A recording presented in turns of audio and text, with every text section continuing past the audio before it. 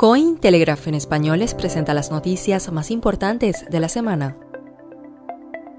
Swift inicia la siguiente fase de las pruebas de una CBDC tras obtener resultados positivos. Los abogados de Sam Bankman Fry señalan la necesidad de retrasar el juicio penal de octubre. La Reserva Federal de Estados Unidos creará un nuevo equipo de criptomonedas ante la preocupación por las stablecoins no reguladas. El CEO de Coinbase plantea añadir funciones bancarias tras la crisis de Silicon Valley Bank.